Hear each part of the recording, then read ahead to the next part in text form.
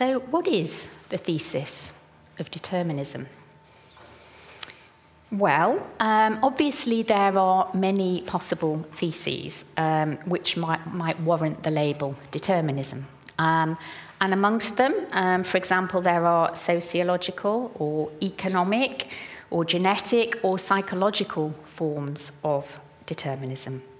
So I want to try to put my question a bit more precisely. Um, what I want to ask is what the general thesis of determinism is, the thesis with which philosophers who worry about free will um, mostly concern themselves. Of course, some of those other determinisms I've just mentioned, the sociological, the economic, the psychological forms, might also be thought to be worrying for determinism. But those aren't the ones that I want to be interested in today. I want to be interested in determinism thought of as an entirely general thesis. Um, I'm interested in the version which, perhaps more often than any of the other versions, tends simply to be given that general name, determinism. J.L. Austin once famously claimed that determinism was a name of nothing clear, as he put it. But I think someone reading the free will literature might reasonably wonder whether that really remains the case today. On the whole, I think it's fair to say that philosophers working on the free will question now tend to operate, tend to operate, perhaps it's not entirely true, but they tend to operate with a fairly standard sort of definition of determinism uh, that seems to be pretty well accepted uh, on, on all hands. And I call this form of definition the entailment form of definition. Uh, and I think it's going to be helpful in order to render later discussion uh, clearer and easier if I spell out a representative version of it here at the start. So it's there on your handout. I've called it ED for entailment definition, obviously. Uh, I've taken this particular version of the entailment definition uh, from um, John Fisher's book, Responsibility and Control, and it says this, for any given time, a complete statement of the non relational facts about that time, together with a complete statement of the laws of nature, entails every truth as to what happens after that time. Okay. Now, of course, it's been often remarked that there are concepts contained within ED there which need considerable unpacking uh, and which raise myriad philosophical issues of their own. So what, for instance, you might ask is a complete statement uh, of the facts about a particular time. Does that notion make any sense? Is there any reason for supposing that such a thing could be given, even in principle? What exactly are the non-relational facts? And how are we going to distinguish them properly from the relational ones? What's a law of nature? And so on. But I want, for the purposes of today's talk, to prescind from fussing about these sorts of details, important though it is, I think, to, to fuss about them. And indeed, I've, I've done my fair share of fussing about all those questions. Um, because what I want to ask today is a rather more general sort of question. Namely, is ED's central concept, that's to say, the concept of entailment, really the concept in terms of which we ought to be expressing the connection between past and future, which constitutes the heart of the thesis of determinism that I think is of relevance to the free will debate. So that's what I want to be asking. And in this talk, I want to argue that the answer to that question is no and that acceptance of the entailment definition has been a historically understandable, but now I think recognisable, mistake. Now, In a sense, of course, one's free to define technical terms, as one will.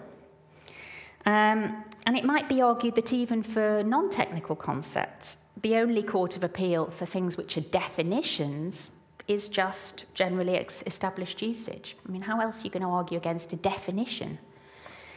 So I think you might wonder how an argument of the sort that I'm going to be trying to give for the inappropriateness of a particular definition of what is surely at least a quasi-technical concept is ever going to get off the ground, especially when I've already conceded um, that the entailment definition is kind of the, the market leader, as it were.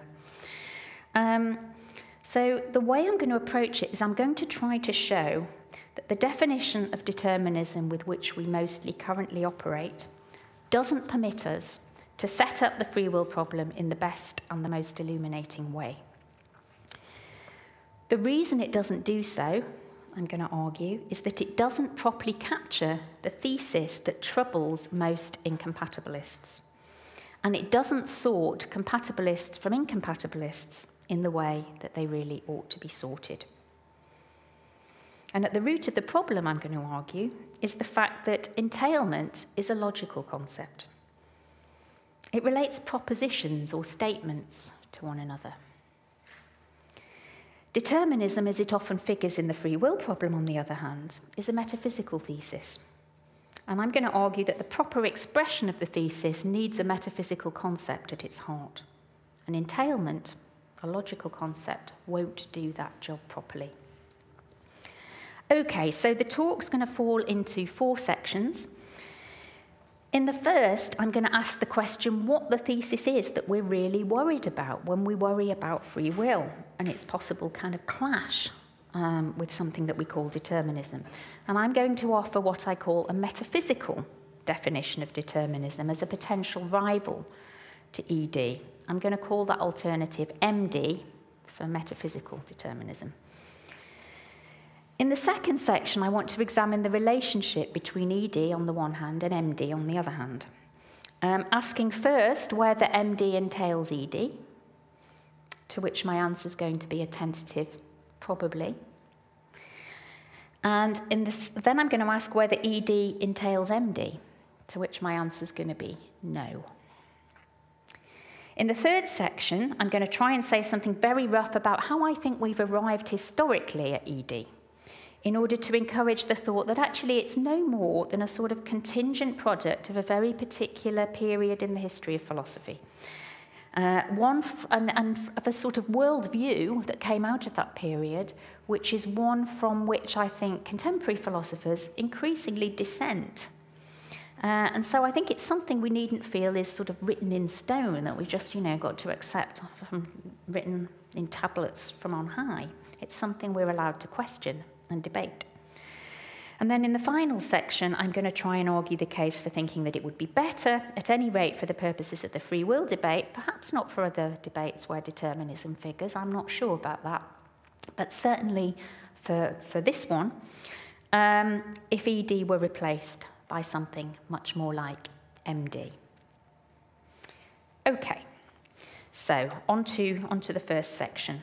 Um, so let me start by asking what is the thesis which worries us when we're concerned that the world might not permit freedom because something called determinism might be true?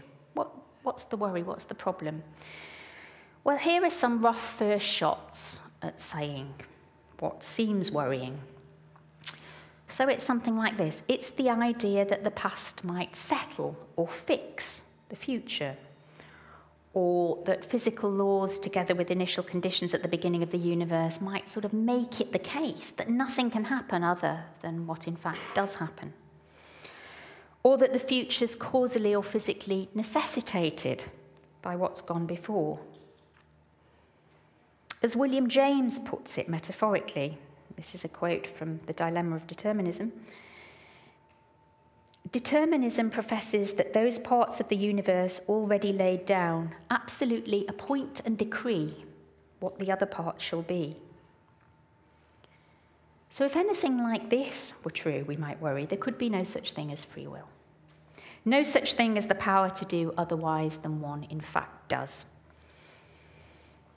Now, in order to have a handy label for this general conception of determinism, let's formulate the following definition and I'm going to call it MD for metaphysical determinism, and it's there on the handout. It's very rough and ready, and it will need to be tightened up.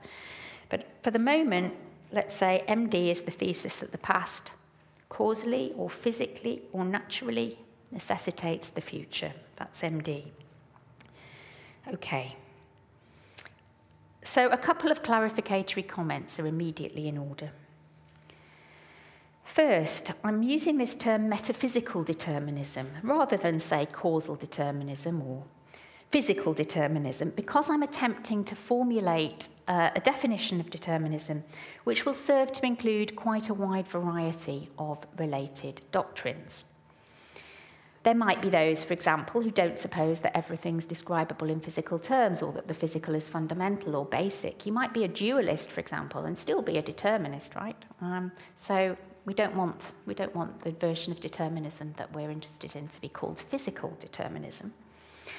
Um, there might be those, moreover, who are suspicious, say, of the sort of parochiality of the concept of cause in the way that, say, Russell was um, but nevertheless believe that determinism can be perfectly well expressed by means of the idea that the laws of nature, conceived of as metaphysical realities, are both all encompassing and deterministic um, and um, set, settle in conjunction with particular facts what the future will be. So I'm using that term metaphysical in the hope of allowing for views of at least both those kinds, maybe some other kinds too, if there are other kinds which regard determinism as a sort of entirely general doctrine pertaining to the whole of empirical reality. The crucial point is that metaphysical varieties of determinism, as I'm conceiving of them, are doctrines according to which the determinative relation holds between worldly states of affairs and is owed to a worldly variety of constraint, though perhaps one of which we have very little real understanding, it might be said. The crucial contrast class, by means of which um, to understand what counts as a metaphysical conception of determinism for my purposes, will be the entailment conception. Um, according to which determinism is to be formulated in such a way that the crucial determinative relation is entailment itself, a relation which I think, properly speaking, holds between such things as propositions or statements. It's a logical relation. Okay, a second point that deserves comment before going any further is the fact that there is in MD, as you all have noticed, no explicit mention at all of the laws of nature. I think we've grown very used to formulations of determinism which explicitly mention the laws as well as past conditions. But this, I think, plainly is a corollary of our penchant um, for attempts to uh, formulate determinism according to uh, entailment varieties of definition. Because, of course, particular statements about the past on their own can't entail statements about the future all by themselves. Um, at any rate, not if they're statements which express the wanted non relational facts. But if we're aiming at a metaphysical formulation of determinism, it's not so clear that we must mention laws explicitly. It may be, of course, that when one attempts to spell out what necessitation of the future by the past involves, we will find ourselves needing to speak of laws. Maybe we will. Though let's not prejudge that issue. Um, I'm going to return to it in the third section of this paper. I don't think it's absolutely clear that we have to speak of laws.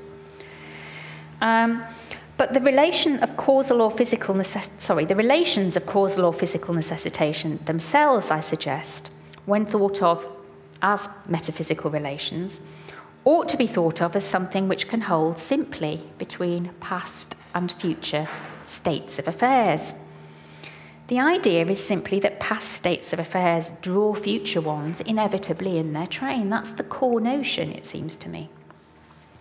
They may do so, of course, according to laws. But I think that's a separate matter.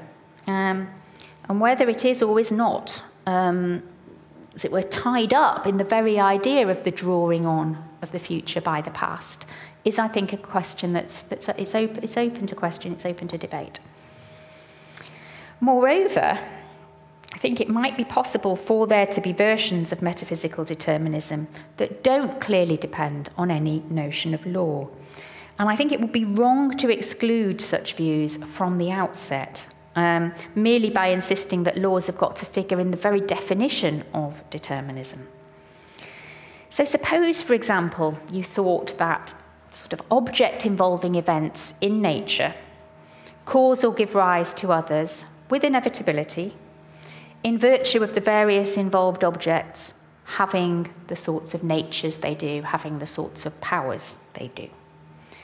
Now, thus far, I've said nothing about laws in that formulation. Um, you might, of course, think that the existence of laws is somehow smuggled in through that notion, through the notions of natures, of powers, that the notion of law will sort of be lurking somewhere underneath. And maybe it will, maybe it will.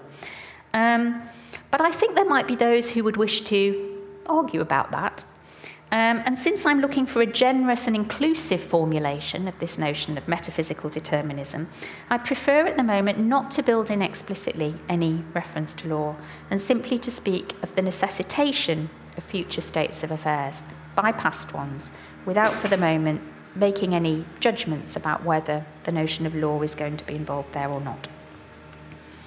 Okay.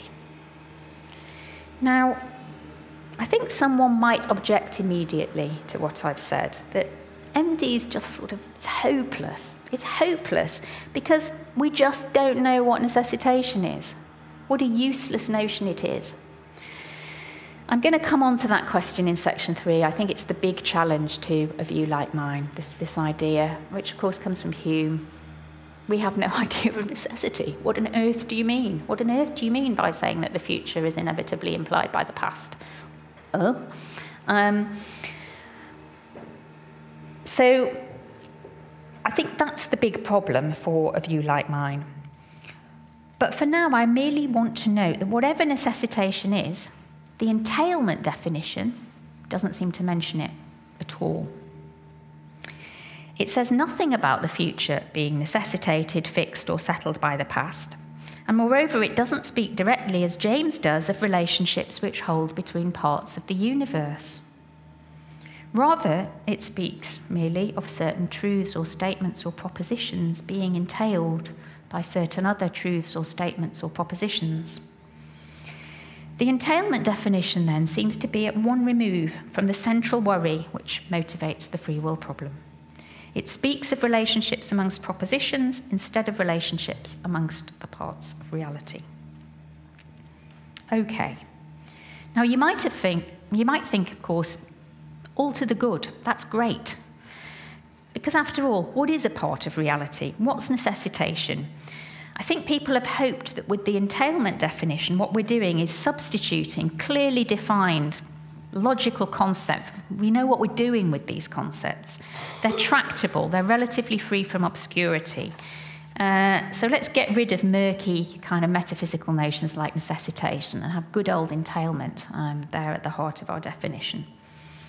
Um, and after all, it might be said, it's not as though entailment relations don't have any consequences for relationships amongst the parts of reality.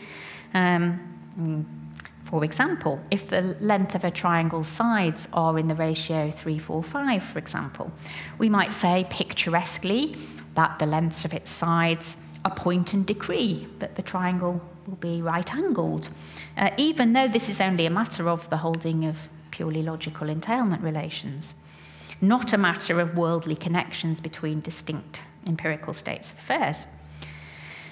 But I don't think that point can really be pushed very far the necessitation which is supposed to hold between the parts of reality, if determinism is true, just isn't supposed to be logical necessitation.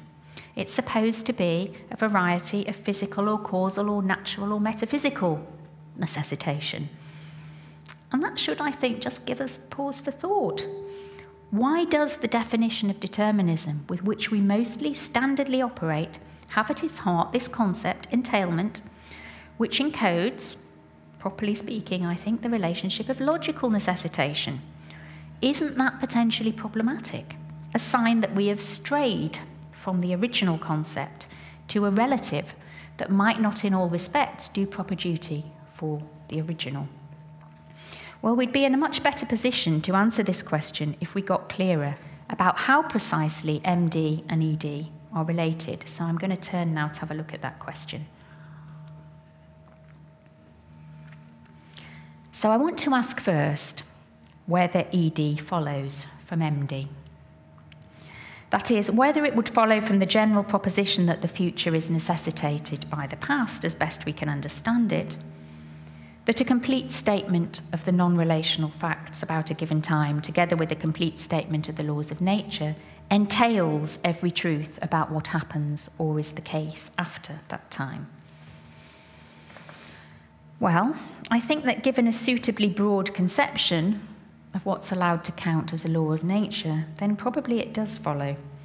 But maybe only at the cost of robbing the concept of a law of nature of some of its usual connotations.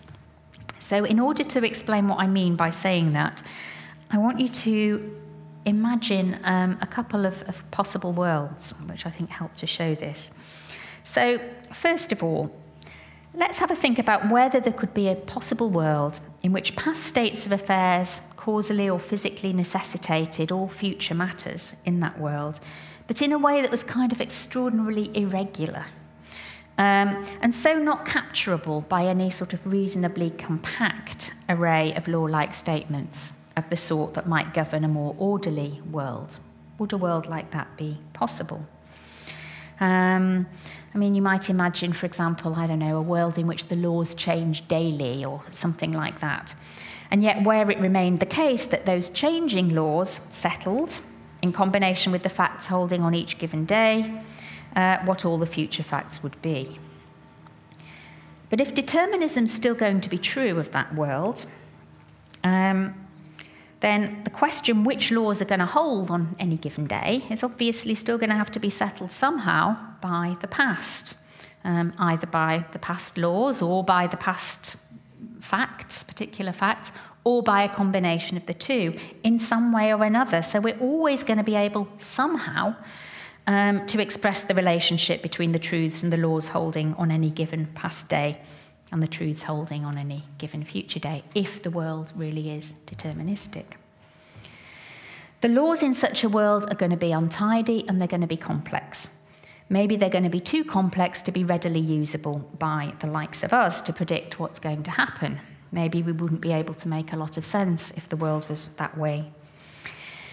But they're still going to be, in principle, statable. And if such laws as these genuinely do count as laws, then determinism, as characterized by the entailment definition, is going to hold in this world. That's to say, it's going to be true of this world that at any given time, a complete statement of the non relational facts about that time, together with a complete statement of the laws of nature, including, as it were, any meta laws, uh, as it were, the laws or principles which are going to dictate what the future laws will be, are going to entail every truth about what happens in that world after that time. Okay, so that's one world we might consider. Uh, and that world seemed to suggest that there's no threat from a world like that to the idea that MD entails ED. But someone might think that this possible world only fits the entailment definition because we haven't been imaginative enough. We've remained within a world in which there are laws, even though they're laws which are very disorderly compared with the laws that we take to hold mostly in, in our own world. But couldn't we imagine an entirely lawless world? One might perhaps wonder whether the causal dictation of the character of one temporal world slice by another must be lawful at all. And if it were not, one might think one had imagined a world in which the settling of the future by the past obtained, but in which no relevant entailments could be found. Is that coherent? Is that coherent? Well, I'm not sure, and this is a very big question. What the suggestion invites us to imagine is a kind of entirely particularistic form of settling, such that one particular time slice of world just somehow determines the next temporal world slice, but not in virtue of any general character it has. I think it's hard to make sense of what this could mean. Maybe it would demand turning time itself into a causal factor in some way. But even here, one might say that if determinism holds, there would still have to be statements of the form if P at T1, then Q at T2, if Q at T2, then R at T3, or whatever. Statements which simply describe, as it were, the particularistic but deterministic chaos. And one might simply say that in such a world, these things are the laws uh, and so that the entailment definition still, still holds. This point, or something that's very like it, I think, is considered by Bertrand Russell in his classic and highly influential paper on the notion of cause. I'm going to talk about this paper a bit later on. Russell suggests that if we're to operate with a notion of determinism such that not every world turns out to be deterministic, it's going to be essential to insist that time can't figure explicitly into the formulae in terms of which the laws of nature are expressed. And that would prevent worlds like the one I've just described, the kind of particularistic chaos type worlds, um, from counting as deterministic according to ED. But could such a world nevertheless be deterministic according to MD, and thus be a sort of obstacle to the entailment of ED by MD?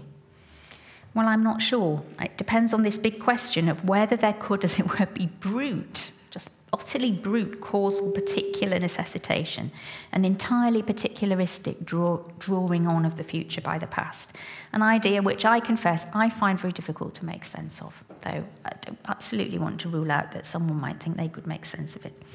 My tentative conclusion, based on the idea that it seems to me probably incoherent, is that MD probably does entail ED. Uh, provided we're armed with a sufficiently generous conception of laws of nature, so that the laws in question are permitted, if necessary, to be very great in complexity or very great in number or both. Okay. So it seems possible that armed with this suitably generous conception of a law of nature, we can defend the claim that the necessitation of future world states by past ones does imply that entailment, as characterized by the entailment definition, must hold. But now I want to ask about the reverse implication. Does the holding of determinism, as characterized by ED, imply the holding of determinism, as characterized by those who advert to the murky notions of settling and necessitation? Well, here I think it's much more obvious that the answer is no. Now, what makes it evident that the answer is no is, I think, brought out rather beautifully by Helen, who's sitting here in the audience, um, in her excellent paper, The Non Governing Conception of Laws of Nature. So, in that paper, Helen contrasts the positions held by what she regards as the two main camps in the debate about the metaphysics of laws. So, on the one hand, there's the realist view that laws are something like, I mean, there's, there's lots of versions of realist views, but I suppose the, um, the most dominant one is the idea that laws are something like relations between universals, universals being unambiguously parts of reality. Um, various versions of which are developed by people like Armstrong and Tooley and, and Dretske. On the other hand, contrasted with these views, there's what Helen calls the Ramsey Lewis view of laws. And on the Ramsey Lewis view, Helen points out, laws don't govern. They're just not that sort of thing. According to Lewis, for example, this is a quote uh, from him a contingent generalization is a law of nature if and only if it appears as a theorem or axiom in each of the true deductive systems that achieves a best com- combination of simplicity and strength. And Helen's explanation of Lewis's idea is, I think, very neat and picturesque. Uh, and so, with her permission, I'm going to quote her here at quite some length, and the quote's there on the, on the handout. The idea is something like this Suppose God wanted us to learn all the facts there are to be learned. He decides to give us a book, God's big book of facts, so that we might come to learn its contents and thereby learn every particular matter of fact there is. As a first draft, God just lists all the particular matters of fact there are. But the first draft turns out to be an impossibly long and unwieldy manuscript and very hard to make any sense of. It's just a long list of everything that's ever happened or will ever happen. Luckily, however, God has a way of making the list rather more comprehensible. He can write down some universal generalizations with the help of which we can derive some elements of the list from others. God wants the list of particular matters of fact to be as short as possible. That is, he wants the axioms to be as strong as possible. But he also wants the list of axioms to be as short as possible. He wants the deductive system, the axioms and theorems, to be as simple as possible. The virtues of strength and simplicity conflict with each other to some extent. God's job is to strike the best balance. And the contingent generalizations that figure in the deductive closure of the axiomatic system, which strikes the best balance, are the laws of nature. So, on the Ramsey Lewis conception, then, the laws aren't sort of rules written into the fabric of reality which the universe must follow. Rather, on the Ramsey Lewis conception, the universe just consists of what Lewis calls a vast mosaic of local matters of particular fact, just one little thing and then another. Laws on this conception are fundamentally descriptive and fully knowable by us, as it were, only post facto. Since, of course, the laws on the Ramsey Lewis conception are to be the principles which achieve the best balance of simplicity and strength, in an axiomatization which fits the whole history of the world, not just the portion of it which happens to be past. So, on this conception, laws aren't constraints on the forward flow of reality at all. So, suppose you held the Ramsey Lewis view of laws, and imagine a world in which the only laws are Ramsey Lewis laws, which is also deterministic according to ED. Must this world also be deterministic in the sense that the past in any way metaphysically necessitates or settles the future? I think the answer to that question is fairly obviously no. As Helen indeed argues in her paper, with the laws thought of as merely descriptive and non governing, and the world merely consisting of one little thing and then another, there's no settling of the sort that an incompatibilist defender of free will need worry about as Helen says, quote, the sense in which I am constrained is a purely logical one. And this logical sense surely cannot be an obstacle to free will. So, I've argued thus far that even if MD implies ED, ED doesn't imply MD. There could perfectly well be worlds in which the entailment definition was satisfied, though the necessitation definition wasn't. Worlds where the laws didn't govern. And those like Helen and Kadri Vihvelin, who've recognised this rather clearly, have both suggested that this gives us a ready route to compatibilism about free will and determinism. Kadri indeed makes it clear at the outset of her terrific book, Causes, Laws and Free Will, that she regards any embrace of a metaphysical style of determinism, like MD, as confusing and misleading, insisting that, and this is a quote, determinism should not be confused with the view of laws that has been called the governing conception of laws, the pushy explainer view, and most commonly, the necessitarian view. And it's easy, she says, to get confused, quote, because determinism is often formulated in a loose and misleading way. For example, as the thesis that the facts about the past metaphysically determine or necessitate or fix all future facts.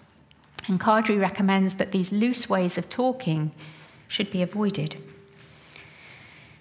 But my question is my question is whether this is really the right response to what I think is agreed between Kadri and Helen and myself is an important distinction.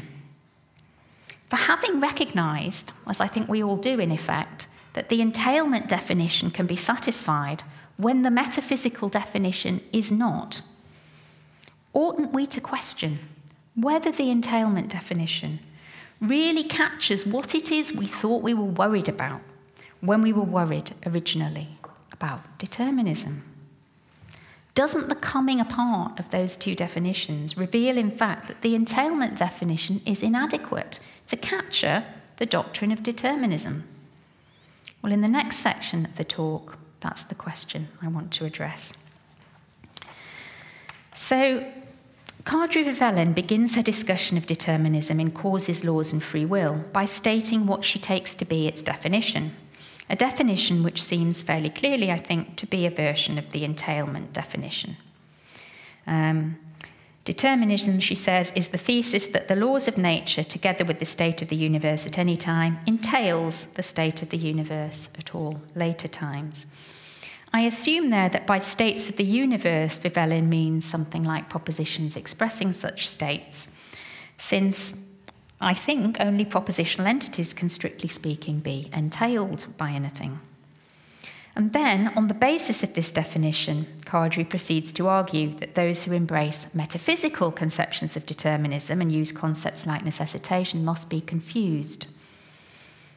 And that's the bit of the argument I worry about because definitions in philosophy are negotiable. You can't just, as it were, uh, say, well, it's this, this is the definition and these things follow from it. You have to argue, as it were, for, for the claim that your definition is the right one to be, to be using. The particular definitions of the crucial concepts with which we operate have histories. And I think it's sometimes instructive to reflect on why we've ended up with the precise ones we have, and in this particular case, why we've ended up with a definition of determinism that has the concept of entailment at its heart. It wasn't always thus. I think it's a very interesting question. When precisely the doctrine of determinism, understood by way of the entailment definition, first began to be substituted for the more metaphysical sounding thesis that people used to call the doctrine of necessity, and why. Now, Hume's views on the absence of any proper idea of causal necessity is going to have to be a very important part of this story, clearly. Um, but the full adoption of the entailment definition of determinism doesn't seem to have occurred, in fact, until much later. Uh, until after various developments, I think, in logic and in mathematics, encouraged philosophers to begin to appreciate the usefulness of the concept of a function. Um, I suspect Russell was very likely an extremely powerful voice in the shift made by philosophers to definitions of determinism more resembling ED. According to the paper I've already mentioned on the notion of cause, Russell claims that, and this quote's on the handout, luckily, because it's quite hard to read out because of all the variables. Um, he says a system is said to be deterministic when given certain data, E1, E2 to EN at times T1, T2, Tn respectively, concerning this system, if big E1 is the state of the system at any time t, there's a functional relation of the form Et is given by a function of E1 T1, E2 T2, En Tn T. Um, it's easier to understand if you, if you read it than, it than it is to understand by having it read out. On this conception of determinism, determinism holds whenever the way things are at a given time is a function of the way they are at another time, a function that will be encoded by some relevant law of nature. But there need be no implication at all that the law constrains anything, for all Russell's definition of determinism implies the law which, which encodes the functional relation may perfectly well just be a Ramsey Lewis law. The functional relation is entirely descriptive and merely expresses the fact that where such a relation exists, one can, in principle, infer the state of the world at one moment in time from the state of the world at another. Moreover, the relation between past and future states is completely symmetrical. One can infer past states from future ones as well as the other way round.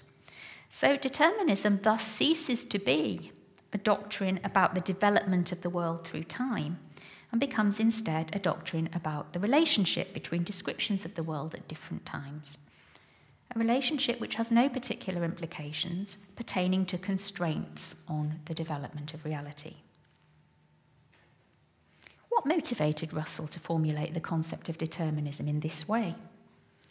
Well, earlier in the same paper, Russell expresses his suspicion of the idea that causes compel their effects. Compulsion, he insists, is a complicated notion involving thwarted desire. That's what he says.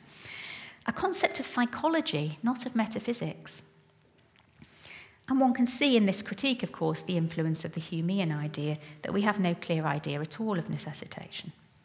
Uh, and that insofar as the idea has a source in our experience, that source is in the mind and not in external objects at all.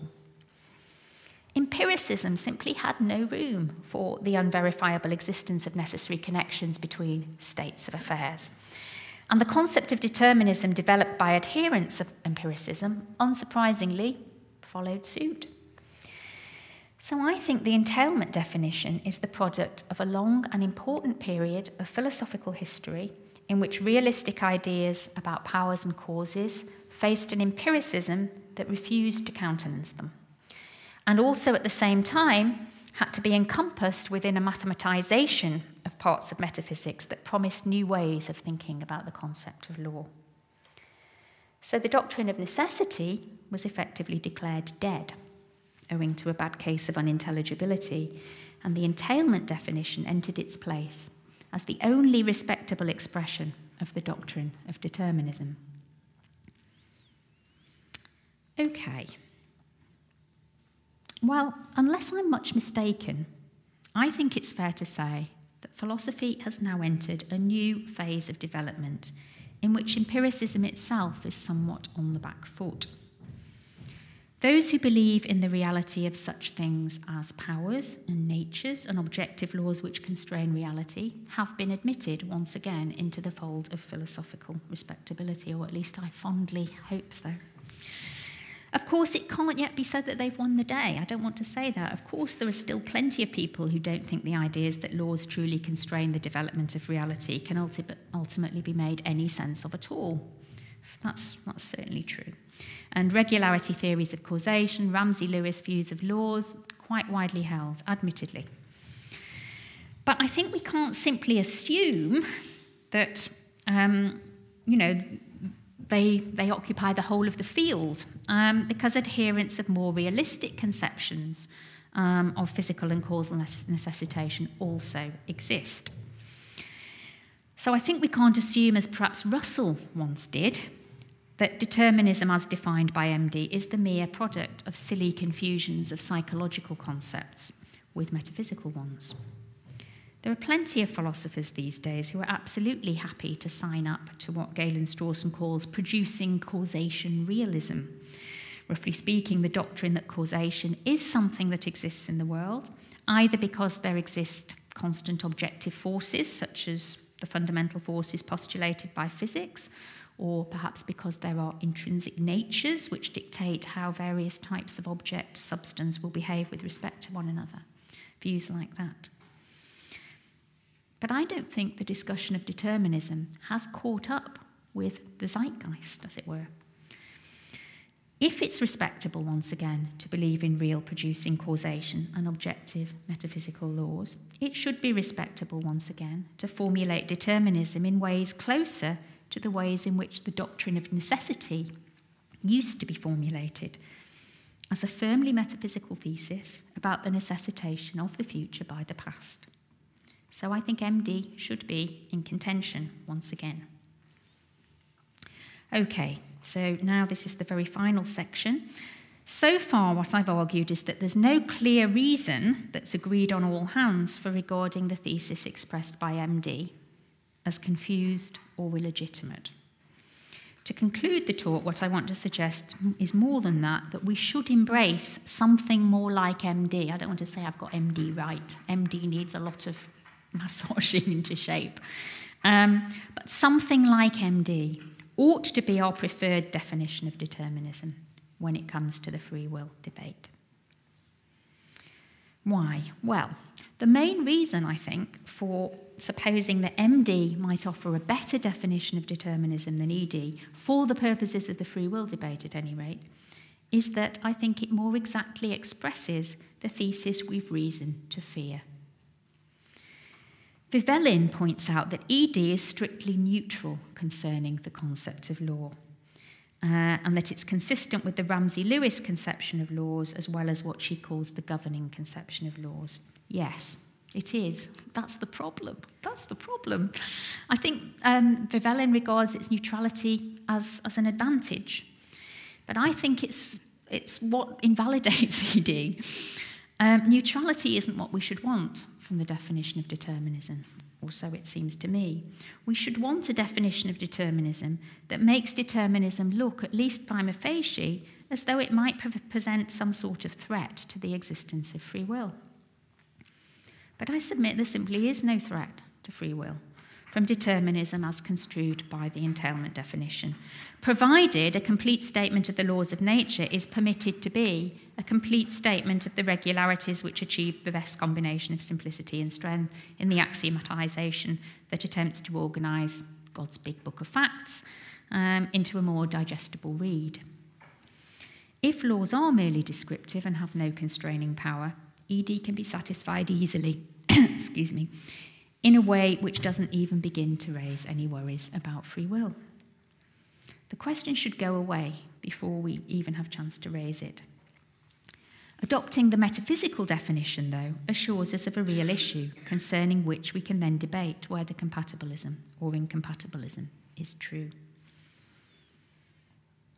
Am I just arguing for a definition of determinism that will make incompatibilism sort of true by fiat? Well, no, of course not. There are many ways to argue for compatibilism, even if one believes in real metaphysical necessitation and constraining laws.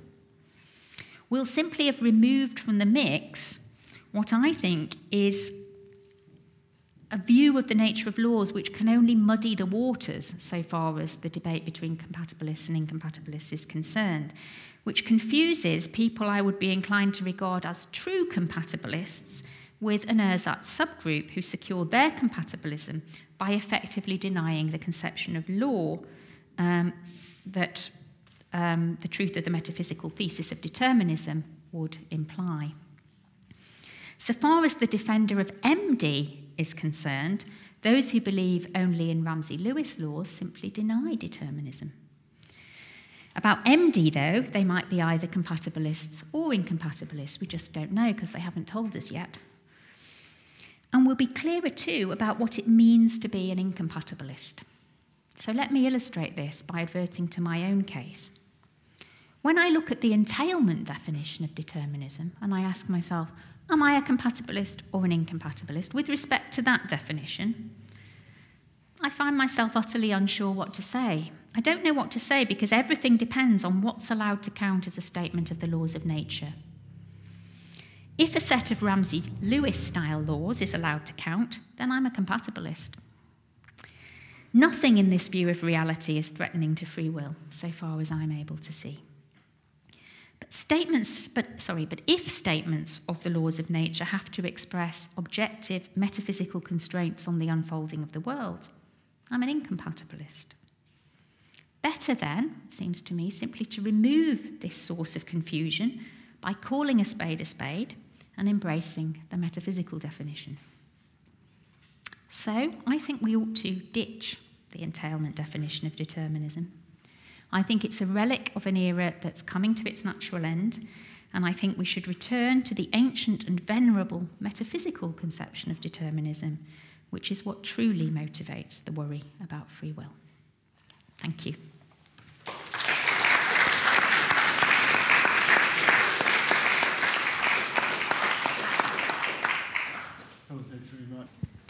So um, one could define determinism um, using um, uh, the, the, term um, necessity rather than, or necessarily rather than necessitate.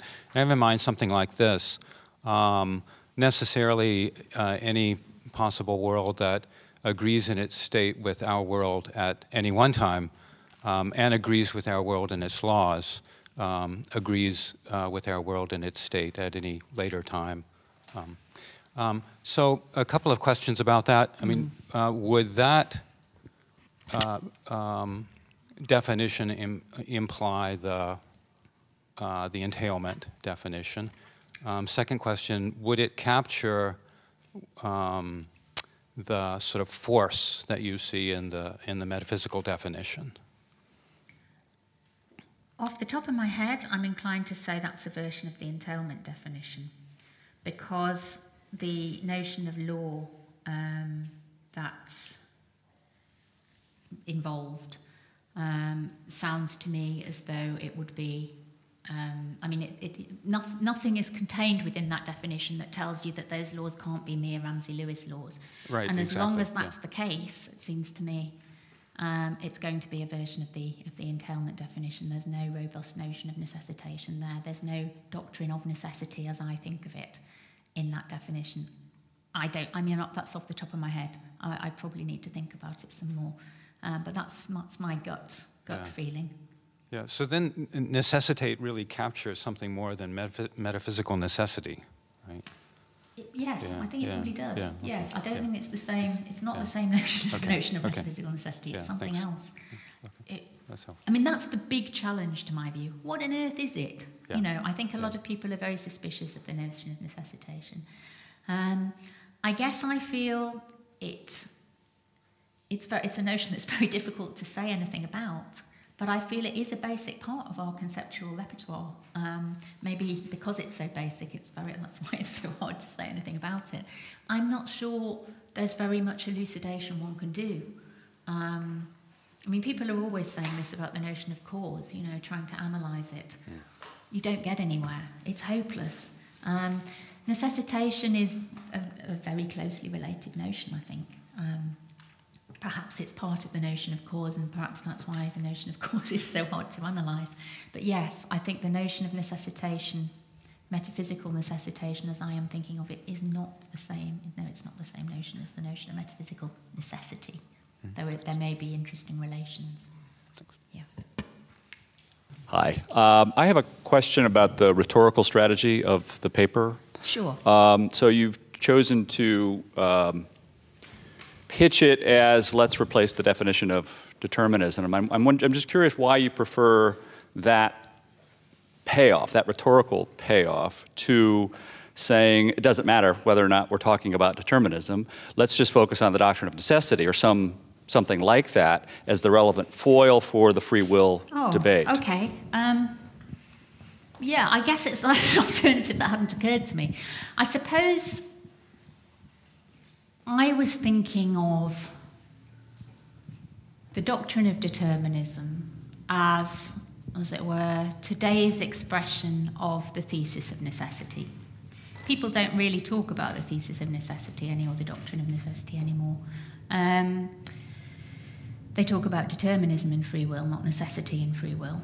Um, and so I suppose I was thinking that the right thing to do, if you're, you know, if you're interested in the free will debate, is to try and get try and get the definition to express the worrying thesis, rather than say, oh, there's this thing called determinism out there, um, which doesn't um, doesn't correspond, it isn't what we really ought to be talking about. The doctrine we ought to be talking about the doctrine of necessity again. Um, maybe the reason I went the way I did is partly because I think that many people are operating, as it were, in their heads, if you like, with a doctrine of necessity conception of what determinism is. And indeed, you find, I mean, if you look up determinism on the internet, which I did prior to this talk, you do get a lot of, you know, expressions of determinism which are a bit more like my MD. There are lots of those. Mostly, though, not from serious philosophers, mostly from just people who are on blogs kind of spouting about, about it. A, a, lot of, you know, the proper respectable philosophers mostly have something like the entailment definition. It's a, it's a very interesting fact that there is this there is this disjunction, it seems to me. But actually, I kind of think it's the guys who are spouting off on the blogs who, who sort of have, they have the heart of the concept we need, really, right. Uh, and the entailment definition is, is a bit of a red herring. Um, because whether or not you're a compatibilist with respect to the entailment definition, as, I've, as I tried to say at the end, entirely depends on what you believe a law is. Um, and I just think it's much safer to export that issue right out of out of the definition of determinism altogether, and then you've got the heart of what seems to me really, really at issue between determin- uh, compatibilists and incompatibilists. Um, does that does that make sense? Have I answered what you meant to ask? Oh, okay.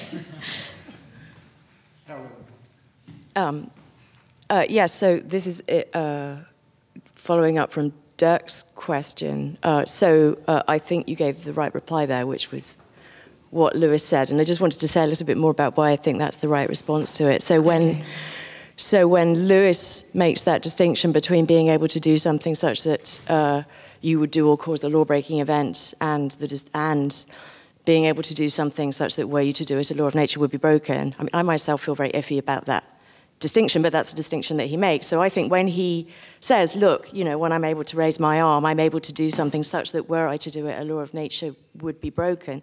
Van den Inwagen's response to that move in that paper where he says Lewis's line on the consequence arguments like the best thing that any compatibilist ever said about it, and then goes on to complain about it. The thing he complains about is what do you mean I'm able to do something such that were I to do it, a law of nature would be broken? Like, that's nuts. The laws of nature aren't like that. And I think that's mm. the place mm. where the kind of the necessitarian view kicks in that idea that there are nearby yeah. possible worlds where the laws of nature are different, or something like that. Um, it's very hard, necessitarians don't like signing up to that, and indeed it's very hard to see how they can sign up that to that consistent with their metaphysics. So that, that's me offering you Thank you, Helen. Helen said what I should have said. Thank you. That sounds that sounds exactly right. That when Van Inwagen's put under pressure by the Lewis argument, the necessitarianism emerges. Yeah, yeah, yeah. Right. Uh, yeah. Thank you. Running around, game show host like. Thank you. Um, hi, thanks for this. This is really enlightening. Um, I have a question about, um, in light of some of the comments, um, why not be a pluralist about determinism and think that there are two distinct worries, one arising from an entailment conception um, and laws, and one arising from necessitarianism? Um, and the reason I'm thinking this is what exactly the determination relation amounts to in each case. So I think the entailment relation is popular historically because it's related to uh, a very easy way of thinking about determinism in, in, terms of physical determinism. So, how would you get an entailment relation between states of the world and further states of the world in the future? Well, you could turn to physics and get a physical description of the world at a given time, plug it into a differential equation, so that would be the law, and then you get a, an outcome, and that outcome is a description of a further state. And it seems to me that that's a worry that might be distinct from a worry of the past um, necessitating a future state in a different way. Like the engine of determinism seems different in the necessitarian case when we're talking about powers and natures than when we're talking about a relation of determination like the relation between uh, one state and another state given a differential equation. And you might have very different answers to these two different determinism worries, right? So one way of responding to the the physical law way is to be a, a Ramsey Lewis person. And then you might have to revert to thinking about uh, the metaphysical definition. But you might not have to do that. So I was wondering what you thought the prospects were for a kind of pluralism about it, and thinking that even though maybe in the debate these conceptions are confused, you could make them distinct and think that they're distinct worries. Well, I guess I'm not I'm not convinced that there are two distinct worries. I suppose, I mean, when I think about the, the dif- differential equation version of determinism, I mean, part of the issue is that I've, I've been very sort of upfront about the problems with the notion of necessitation. It is murky. Yeah, it's murky, okay. But I think the the Ramsey Lewis type people, regularity theorists of causation, also have a big problem on their hands, which is there's something just kind of really weird about their view, I think. I mean, the idea that the world is in fact truly describable, say, by means of these differential equations, if you, if you think it is, I mean, let's suppose, let's suppose it is, or at least that some, some systems within it are describable by means of such differential equations. And yet there's nothing I mean, this is the kind of Galen Strawson point, right? There's nothing that makes it the case, so far as the kind of robust reality of the world's concerned, that this consequence is going to follow. That's that's I, I don't you know I, that's totally weird to me. How can there not be? How can it just be, as it were, a world where it's one little thing and then another if that's true? so when I think about your differential equation type determinism, there's a bit of me there thinking, well, how, how on earth could the world follow such differential equations unless, unless there were necessitarian laws? Um, if I try and get myself in the mindset, and, and, that's, and that's, by the way, to say it's the same worry. Okay, yeah. it's the same worry. If I try and get myself in a kind of Ramsey Lewis sort of frame of mind, it's one little thing and then another. I find it very hard to do that without asking the question, well, how come the differential equation works then and always works? Um, but if I don't ask that question, then the worry goes away for me. You know, if I'm really am for just thinking of the differential equation, it just luckily happens to happens to describe the way the world is, and it's the mosaic of local particular fact. Um, you know, nothing to, for me to worry about mm. the free will debate there. So I feel it, it, you know, it's one of those two responses. One way says it's the same worry as yeah. originally. Other way, there's no worry. So I, am not I'm not yet persuaded that this that we should be pluralists. I'm not yet persuaded that there isn't just a core worry. Um, yeah. Good. Thank you. Um, just to follow up, I'm interested in this a little bit from the point because you know the, Hume is the pivotal figure here because you were asking a good historical Hume question. Is very pivotal. Figure. When did this yeah. all mm-hmm. happen? So is this right? I mean, in some ways, it looks like if I tell me if I'm wrong here, that it might look like it's a kind of incompatibilist uh, reconciliation, to use a Humean term, with the Humean empiricist position, because it looks like, and here's the way I, here, I'm interested whether you would see it this way. Because isn't it right that one of the things that Hume introduces is the idea that we think there's a horrible threat to the thesis of causation and necessity because we think there's kind of pushes and forces and coercive pulls in the world. Mm-hmm. But once we realize it's not really like that, then, as you say uh, with this thesis, if it was like that and there were these thick realist causal powers out there pushing us into doing whatever we're doing, then that would be a threat, that would be a worry. But Hume's line is that's not what causation is. We have no reason to think there's causation like that. There's some interpretive issue about epistemology. There is, yeah. uh, I won't be boring and go Hume on you that way, but um, then there's, but for Hume, then in effect, he def, as he sees it, and this is the sort of long strategy, it goes through all the way up to people like Schlick. There are no prescriptive laws. There are these just descriptive laws. And then I'm wondering if this is where you want to go. Then there's kind of convergence between you and that Humean view, which is if that's all there is to these laws, then there's no real problem or threat at all. And you can say, well, that's fine. So if we're really going Humean all the way through, then of course the Humean world is right. The only problem is that it strips the world away from the real powers and that, that are a worry. I'm violating my own principle here, I'm just to sort of supplement that rather than a second question.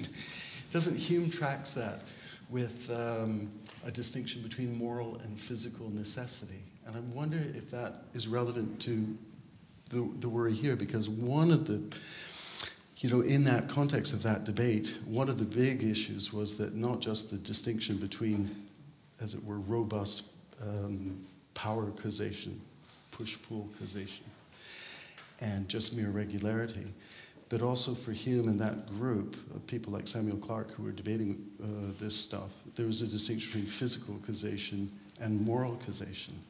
So Hume makes the distinction between, if you want, the push pull metaphysical necessity and mere regularity. But he collapses the distinction between physical and moral yeah. causation. And I wondered if it bothered you at all that on, so as it were, you go along with, with the first part, but I wondered if you were worried about the fact that there's no distinction between physical and moral causation. Okay. Yeah, so that's really interesting. Yeah, so on the first question, in a sense, yes. Um, I mean, my, I first started thinking about this when I read Helen's paper and Kadri's book, because both of those made me think, I kind of agree with these guys. I'm supposed to be an incompatibilist and they're supposed to be compatibilists. But I agree with them. Something weird's going on. And I figured out that the weird thing that was going on was that I accepted um, a conception of law, in effect, law and causality, uh, those sorts of things that Helen and Kadri did not accept. But I thought, well, if if the world were the way they think it is, you know, I, if if that's what law meant. I'd be a compatibilist too. Um, so you're right that, in a, in a sense, I am agreeing. Uh, I am. A, uh, it is. It's reconcilia- reconciliatory in that respect, but of course, it's not reconciliatory in another respect. In that, you know, we do dis- we do disagree about the the right conception of, of law um, the right conception of um, the doctrine of necessity, the right conception of determinism. Um, so, so the answer to that sort of yes in one way but no in another. The second thing about um, the collapse of physical and moral necessity, it, that's a really, really complicated issue. I mean, Hume, Hume is kind of freed or seems to think he's freed anyway, um, from uh, the problematic consequences that the idea that causality might operate in a given domain by his conception of what it is for causality to operate in a given domain. If, if you know, if it's just about whether there's regularity, um, there's no reason to worry about its existence um, in, in, the, in the moral sphere uh, or, or, in the or in the physical sphere. Neither makes neither should give us any any reason to worry. Um, so far as the moral domain is concerned, um, I mean, I've never I've never been persuaded at all by the thought that there are, as it were, moral determinants of action. That's never been a view that I've found in the least persuasive. So determinism appears to me more threatening when it is of a sort of all encompassing, uh, everything supervenes on the physical and the physical is deterministic kind of view. That's, that's been the, the type of determinism that's appeared to me more in need of fending off uh, more in need of, as it were, saying, you know, we don't have to think this, guys. it's, it's not true. Um, but I don't think the moral kind is true either. Um, so I suppose that's where I stand on, on that issue, though perhaps my route would be rather different from, from Hume's. Yeah. Thanks. Any other questions? Yes. So I have question that picks up on, on some of the things that uh, Randy said. So I think that ED is an improvement over Russell's definition. ED? Yes, in the sense that it includes um, an element of directionality. Is uh, that it includes? An element of directionality, which the functional relation does not have. Um, so one okay. thing entails the other, but it's not, it's not asymmetric. It's not, the thing entailed not, does not necessarily entail whatever it yeah. entails. Yeah. Yes. Um, so, but metaphysical necessity is not a notion like that. So, uh, one, it's, it's actually it's not one relation, but a family of relations. So, identity is, is, is a relation of metaphysical necessitation, but it's not that way. So, if, say, mental states are identical to bodily states, being in a mental state necessitates a bodily state. But okay. we want something that is symmetric in a way if we want to think about determinism as a threat to free will. Uh, so we want because I don't want I don't want the present. Yes, yeah. I don't want the present to to to the things I do now change the past. Yeah, that's not what I want. So I was wondering if you can if you if you have any thoughts on, on what would give um, the directionality here in the absence of, of something like entailment. Okay. Um, yes, you're right that um, the entailment definition is an improvement over, over Russell's because it does have the directionality, and that's not something, yes, I, yeah, that's right. Um, if it isn't entailment that gives the directionality, well, I guess my answer will be something like some fundamental feature of time causality. The metaphysical structure of the world is what gives the, is what gives the directionality. Um, something utterly fundamental to the nature of uh, empirical existence. Um, more than that, I, I couldn't say. Um, but I think it is just an incredibly obvious feature of the world in which we live that it has such directionality. So I'm not, I'm not troubled by the worry that there's nowhere to get it from, as it were, for the, for the relation. You're right, you're quite right, though. I, I hadn't really thought of this that necessitation is going to have to be a family and that something's going to have to be said about its subtypes. And I haven't thought about that. Um, yeah, I, and I need to. So, so thank you for that. That's a, that's a very interesting point.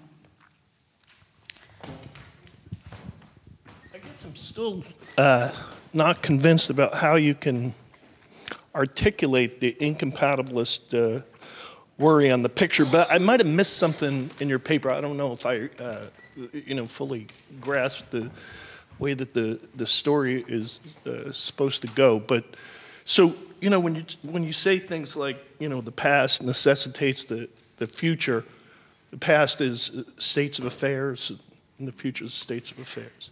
Maybe that would be one, that would be one articulation so, of it. Yeah. I guess the worry I have, like in the, if you tell things in the old van Inwagen way with the entailment uh, definition.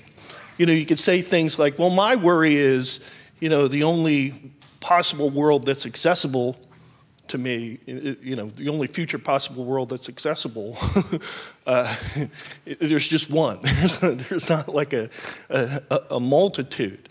Um, and uh, you could do that, like, obviously, somebody might respond and say, oh, well, that's not true, you know, because there are possible worlds where these random things, you know, happen in the future. And you could say, well, no, but those are not, you know, that doesn't hold fix the, the definition of, of determinism, right? And, and so you got to hold fixed the past and you got to hold fixed the laws in order to have the, uh, you know, conclusion that there's just one possible world that's, that's accessible in the future. Um, but if you don't have the laws, you know, what, um, you know, what is, I, I, guess here's one worry. Okay, because, I think well, well here's, yeah, here's okay. a worry. That, that this is another sort of part of it is, suppose on, on this picture then, the thesis of fatalism is going to be something like all states of affairs are necessitated. Um, so what distinguishes uh, the worry about determinism uh, from the worry about uh, fatalism. If you have laws, you can kind of say what distinguishes those two worries, right? Because, uh, you know, there, there are no worlds which share the past and the laws that are accessible. Um, and that's the worry about determinism, not the worry about fatalism. But on your picture, what's the difference between a worry that somebody might have about fatalism being true and a worry that somebody might have about causal determinism being true. Does that make sense? Um, well, let me, I thought I, I thought I got okay. the first bit, so let me say something about that. I'm not the determinism fatalism bit. I don't see why I can't say the same thing as what everybody says at the moment, anyway. Um, with respect to the first bit, I think you're I think you're talking about a part of the paper, an early part of the paper, where I was sort of wondering, in a rather free associative way, about whether determinism required law, the concept of law at all. Um, I mean, I, I, I just I don't want to say it doesn't. I don't want to say it doesn't. Maybe it does. Maybe it does what I what I was wondering about, you see, I was I've been impressed by some of the moves in modern metaphysics towards maybe more sort of Aristotelian ways of thinking about things, where it's not states of affairs and laws that the, that's the basic structure which gives you ways to talk. You've got, you know, good old chairs and tables. It's substances. They've got powers. They do stuff when you put them in certain circumstances. Um, that's a framework which, on the face of it, might not need, might not need to be developed um, by means of a notion of law. I don't. I just. I. Ha, I just don't know whether there are ways of understanding notions like nature and power in such a way that they don't just bring the notion of law in, in their train. Maybe there aren't, which would be to concede your point. And, you know, maybe that's right. Maybe that's right. It does seem as though the notions are kind of tightly bound up with one another. I, I guess I'm in, sort of impressed by the fact that philosophy got on quite well without the notion of, as it were, physical law. I mean, obviously there was there was divine law, um, that that notion knocking around in some ways doing duty maybe for the notion that you know for what physical law does does for us. Um, but I am impressed by the fact that philosophy ostensibly got on quite, quite well for quite a long time without the notion of law playing an enormous role and was able to formulate doctrines like the doctrine of necessity without appeal to the notion of law, at least ostensibly. So that's, I suppose, what's making me tentative about whether it's really right at the heart of the concept of determinism or, or whether there might be alternative ways of cashing it out. Yeah, I don't, I don't quite, I'm, I don't quite get why I'm, why I'm in trouble with the determinism fatalism distinction, though. I haven't, I haven't seen that. Um, but yeah, I don't, I don't understand why I've got a special problem with that. I guess. Helen, thanks so much. Uh, that was very interesting talk. Thank, Thank you. you, Paul. Thanks.